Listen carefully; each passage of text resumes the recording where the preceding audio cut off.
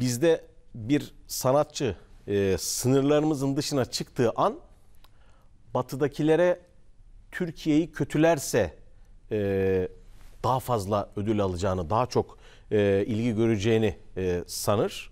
Şimdi bunun bu konuyla alakası yok. Şimdi konuya gireyim. Bugün e, Hürriyet gazetesinde Ahmet Hakan'ın yazısında da vardı. İngiltere'de bir ödül törenine katılıyor. Gülse Birsel.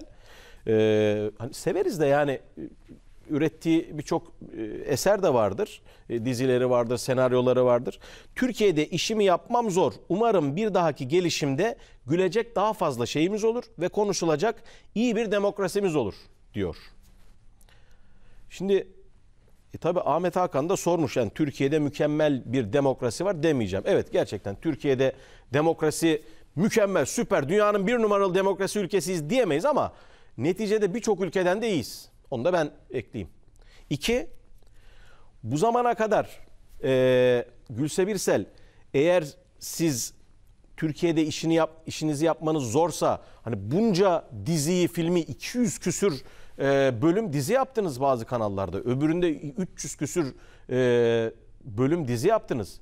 İşinizi yapmanız zorsa bunları nasıl yaptınız?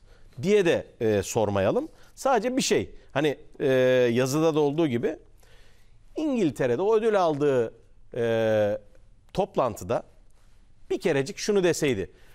Ey dünya ben ülkemde işimi zor yapıyorum ama Gazze'de çocuklar ölüyor. Bu İsrail var ya bu İsrail. Çoluk çocuk demeden sivilleri katlediyor. Desin bakayım İngiltere'de ödül müdül alıyorlar mı almıyorlar mı? O zaman işte demokrasiyi görürüz. Daha fazla video izlemek için kanalımıza abone olabilir, ilk izleyen olmak isterseniz bildirimleri açabilirsiniz.